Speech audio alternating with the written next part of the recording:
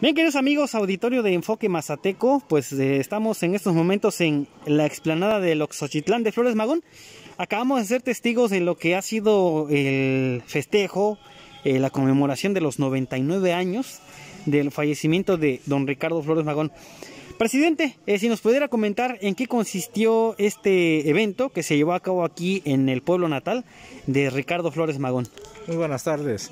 Eh, ciertamente fue un evento sencillo, por, también por las condiciones que estamos ahorita, ¿no?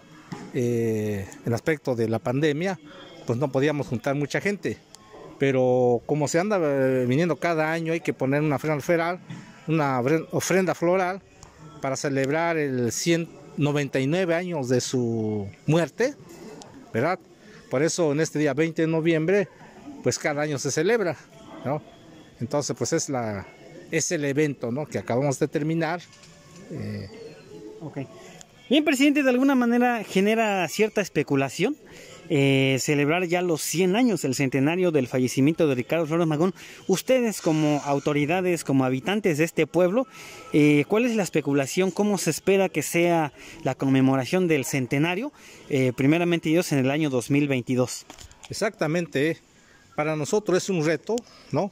Es un reto y es una una acción de respeto hacia el personaje de don Ricardo Flores Magón, El, por lo que significa, la ideología que dejó ante el, mundo, ¿no? Entonces, eh, en ese caso, estamos planeando que, como lo dije hace rato, que todo municipio eh, participaría en ese evento. Programaríamos en hacer unos eventos antes del 20 de noviembre para celebrar el centenario de su, de su muerte. ¿Cómo de qué tipo de eventos estamos hablando más o menos? Pues se piensa que hacer unos eventos deportivos, culturales, ajá, y ya al final de cuentas, llegando al 20, pues ya se cierra, ¿no? Ajá. Okay. Ese es el plan que se está proyectando. Así es. Muy bien.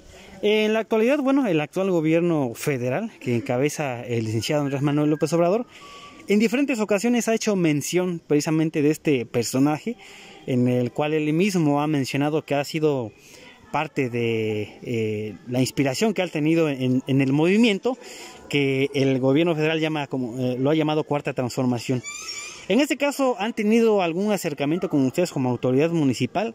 ¿O qué es lo que ustedes esperan precisamente, eh, pues que el gobierno federal colabore, celebre en esta ocasión. También antes de, esto le quiero comentarle que el mismo presidente López Obrador ha comentado que esta sierra, la Sierra Mazateca, debía de llamarse la Sierra de los Hermanos Flores Magón, precisamente en honor a este personaje y a sus hermanos Jesús y Enrique Flores Magón también. ¿Qué nos podría comentar al respecto? ¿Qué, qué esperan por parte de la federación en este tema? Mm, pues exactamente, hemos tenido acercamiento con ellos, con el gobierno estatal, con el gobierno federal.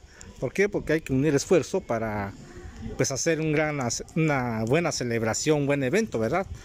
Eh, pues tenemos muchas esperanzas de que el gobernador Alejandro Mura pues nos eche toda la mano, nuestro presidente López Obrador, de igual manera, ¿no? Y celebrar junto ese centenario. Creo el pues don Ricardo merece, ¿no? Merece ese reconocimiento, merece ese recordatorio, ¿verdad? como paisanos que es, pero también como mexicano. Mm, pues todo lo que dejó eh, es algo, ¿no? Es algo que pues deberíamos de estar ahí celebrando, ¿verdad?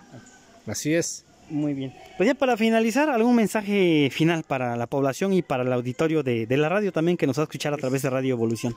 Pues invitarles nuevamente, ¿no?